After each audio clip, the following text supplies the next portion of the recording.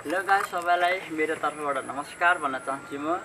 अनि म चाहिँ आज रामपुर बेलेका नौमा भन्ने एउटा लपडाँडा भन्ने ठाउँमा छु र मसँग आज एकजना नेपाली लोक लोकगीत गाउने मान्छे हुनुहुन्छ। पुरा नगरिकन म उहाँसँग उहाँसँग मेरो च्यानलमा स्वागत गर्न चाहन्छु। वेलकम मिस्टर दिपक परिवारजी। हजुर आगामी अनि अनि तपाईँको क्वेसनहरू सुनाउनु केही? मेरो अहिले ठिकै छ अब राम्रो छ। मसँग अब गीत सङ्गीतकै क्षेत्रमा बसिरहेको छु। गीत सङ्गीतलाई नै माया गरिरहेको छु। आजको दिनहरूसम्म चाहिँ राम्रै छ। हजुर अब अब म तपाईँलाई अलिकति एउटा केही प्रश्न गर्न चाहन्छु है त? हुन्छ धन्यवाद।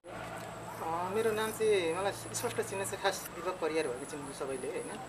गीत सङ्गीतमा लागेको अहिले दुई तिन वर्ष भयो। हजुर। अहिलेसम्म मेरो दर्शकहरूले माया गरिदिनु भएको छ मेरो गीत मन पराइदिनु भएको छ। अनि केही दर्शकहरूले भन्नुभएको थियो दिपक दाई एउटा स्थानीय गीत बनाउनु पऱ्यो एउटा भौगोलिक तरिका गीत बनाउनु भनेर चाहिँ केही साथीहरूले फोन मार्फत पनि भन्नुभएको थियो। त्यही भएर यसपालिको फेरि एउटा गीतलाई लिएर आएको छु।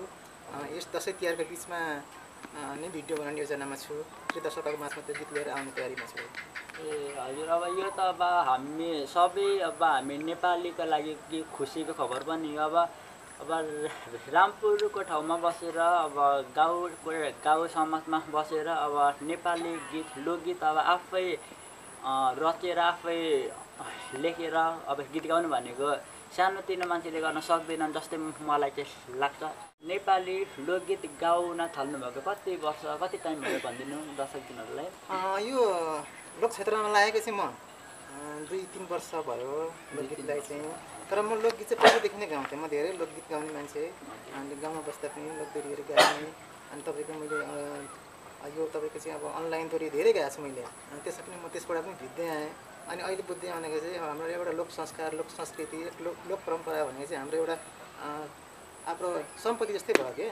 त्यो भएको कारणले एउटा राष्ट्रको सम्पत्ति जस्तो भएको कारणले गर्दाखेरि अब चाहिँ हामीले यो कुरालाई छोड्नु हुँदैन भनेर अहिले अब यसको लागि चाहिँ म लगातारै जोडिराखेको छु। केबाट तपाईँ यो लोकगीत गाउनुमा बाध्यता हुनुभयो? म यसमा भाइ धन्यवाद प्रश्नको लागि। म यसमा बाध्यता भन्दा मेरो पहिलेदेखि म एउटा कलाकार बनेर हो।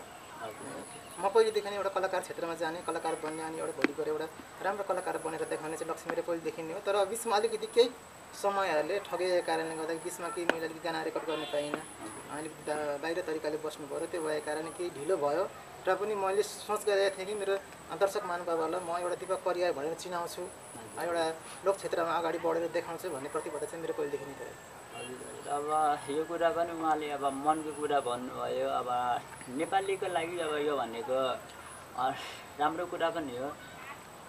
अनि नि तपाईँलाई अब मेरो अर्को प्रश्न चाहिँ तपाईँको छोराछोरी अब अब अब प्रश्नको लागि त केही माइन्ड छ छैन। अब तपाईँको छोराछोरीलाई पनि अब कमाउने सोच सोच छ कि? अब छोराछोरीको अब चाहना इच्छा के छ त्यो पुरा गर्ने सोचमा तपाईँ लाग्नुभएको छ? मेरो चाहना भनेको चाहिँ पहिलो कुरो त मेरो बच्चाहरू कलाकारै भएको देख्न चाहन्छु। त्यही पनि अब बच्चाहरूको लक्ष्य के छ त्यो लक्ष्यलाई पनि पुरा गर्छु। होइन? बच्चालाई के बन्नु चाहन्छ बच्चाहरू होइन? त्यसमा पनि अब मेरो कर्तव्य पुरा गर्न चाहन्छु। पहिलो कुरो त म बच्चालाई कलाकारै बन्ने आउने मेरो योजना हो। अब त्यही त अनि अब सबैको बाउ आमाको सोच अब आफ्नो छोराछोरी नबिग्रोस् ननासियोस् अब अलिक ठुलो ठाउँमा पुगोस् सब सबैले चिनुन् होइन अनि यो अनि यो कलाकार क्षेत्रमा छिर्दाखेरि चाहिँ तपाईँलाई के साह्रो गाह्रो अप्ठ्यारो समय साथ दियो कि दिएन कि अलिकति भनिदिनु न दुई शब्दमा अब त्यसलाई गाह्रो अप्ठ्यारो भन्दा पनि कलाकार बन्ने धेरै गाह्रो छ होइन? तपाईँको स्वर कमाउनु नाम कमाउनु दाम कमाउनु धेरै गाह्रो हुन्छ। कलाकार क्षेत्रमा छिर्नु गाह्रो भयो। तर अब तपाईँले लोकदोरीमा चान्स पाउनु भयो भने त्यो मौका गुमाउन चाहनु हुँदैन। त्यसलाई त म सक्दिनँ भाइ। कहिले पनि सक्दिनँ किनकि म लोकदोरीलाई माया मार्नु लोक संस्कार लोक संस्कृतिलाई माया मार्ने भएदेखि अब धेरै पहिले नै माया मारिसक्थेँ होला र पनि तपाईँको धेरै समय पछाडि पनि फेरि लोकदोरीलाई सम्झेर आफ्नो गानाहरूलाई सम्झेर केही दर्शकहरूको भनाइलाई मानेर फेरि आज पनि यही लोकदोरी क्षेत्रमा छु। भोलि पनि यही क्षेत्रमा रहन चाहन्छु भाइ।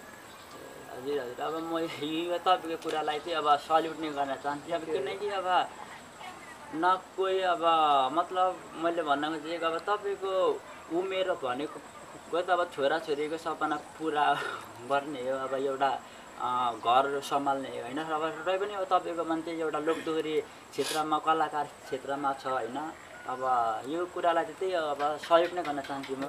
ओके दिपक परिवारज्यू अब चाहिँ तपाईँलाई म के प्रश्न गर्न चाहन्छु भने नि अब तपाईँले लोकदोहोरीको पहिलो गीत तपाईँले कुन थियो? त्यो अलिकति अलिअलि याद छ नि है पहिलो गीत तपाईँको मैले पहिला गीत भाइ त्यही हो शनिबार रामपुरको बजारमा भन्ने गीत निकालेको थिएँ मैले पहिले। हजुर। त्यस पछाडि त्यो गीत रेकर्डिङ भयो अनि बिचमा त्यसमा अलिकति केही समस्याहरू भएर अलिकति अलिकति ब्याक बस्नु पऱ्यो। र पनि गीत सङ्गीतलाई माया मारी नै गानाहरू लेख्दै नै बसिरहेँ। हजुर। अझै पनि केही गाना रेकर्ड गर्नु बाँकी नै छ। अझै पनि गीत सङ्गीतलाई नै माया गरेर बसिरहेको छु। केही दर्शकहरूलाई यो गीत धेरै मन पनि दिनुभएको छ। केही दर्शकहरूले धेरै माया गरिदिनु भएको छ। अब एक यो गीतलाई नै एकचोटि सम्झिन चाहन्छु। किनकि पहिलो रेकर्डिङ गीत हो। हजुर पहिलो भनेको पहिलो भने सबै कुरा पहिलो भनेको चाहिँ माया हो सबै भनेको पहिलो चिज हुन्छ? हजुर हजुर। हुन्छ म एक टुक्का गाएर मेरो दर्शकहरूलाई सुनाउन चाहन्छु। ओके ल दर्शक पनि फेरि कान ठाडो पार्ने बेला आयो है त। स्टार्ट हे शनिबारे रामपुरको बजारमा पर्यौ तिमी। यो मेरो नले भए भए कर्के नजर नलगाऊ सोल्टेनी माया भएलाई देउ सुटुकै रामपुरको बजारमा पर्यौ तिमी।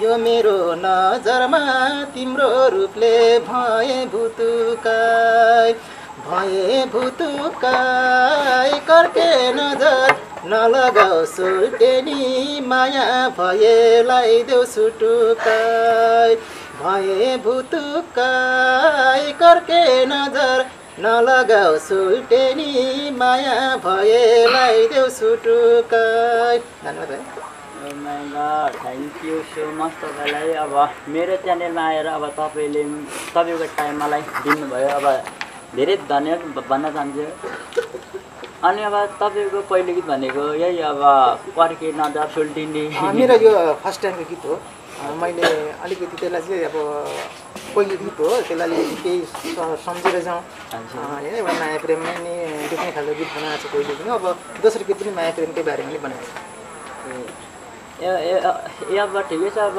अब तपाईँले अब पहिलेबाट यो टाइमसम्म जम्मा जम्मा कतिवटा गीतहरू लोकगीतहरू गा- गाइ गाइसक्नु भएको छ मैले अनलाइन दोरीबाट चाहिँ समथिङ तपाईँको धेरै नै गीत गाएको छु दोरीमा चाहिँ धेरै गीत गीत गीत गाएँ मैले त्यसमा चाहिँ मैले अब एल्बम चाहिँ मेरो योसँग दुईवटा हुन्छ।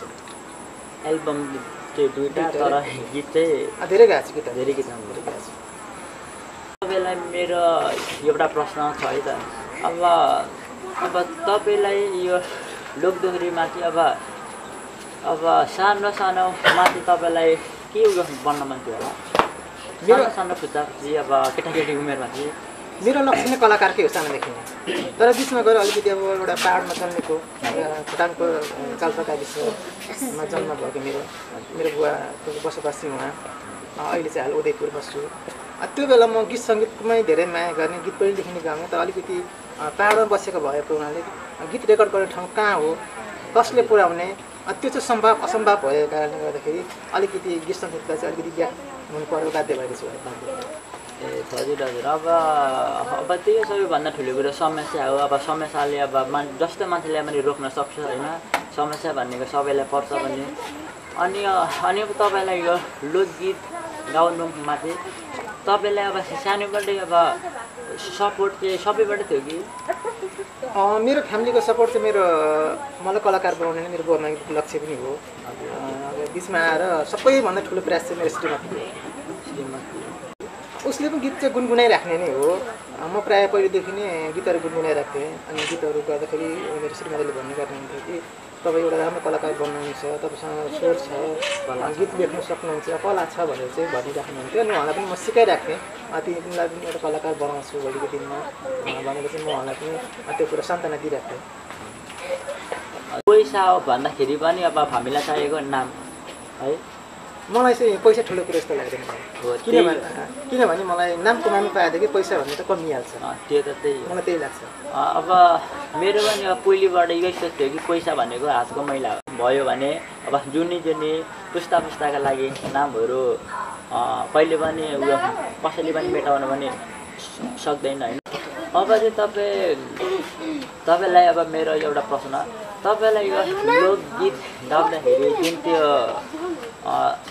कपीमा केहीमा रफमा अब शब्द शब्दले अँ, लेख्दाखेरि चाहिँ तपाईँ पर्छ कि अब यस्तो छ भाइ यसमा चाहिँ के छ भन्नुहुन्छ भने अब त्यो गीत चाहिँ ठ्याक्कै तपाईँको अब हामीले के काम गर्दा काम गर्दा गर्दै पनि ठ्याक्कै सोचिन्छ त्यो मेमोरीमा सेट हुन्छ होइन म यो शब्दले एउटा यो शब्दमा टुक्का हाल्छु भनेर चाहिँ त्यो मेमोरीमा सेट हुन्छ तर सबैभन्दा गाह्रो चाहिँ लय निकाल्नु गाह्रो हुन्छ त्यो लयलाई चाहिँ के समय लाग्छ लोकगीत भनेको अब सुर ताल अब गानाको बाजा अब के अ- अनुसार सबैले अब उयो मिल खानु पऱ्यो मिल्नु पऱ्यो जुल्नु पऱ्यो होइन।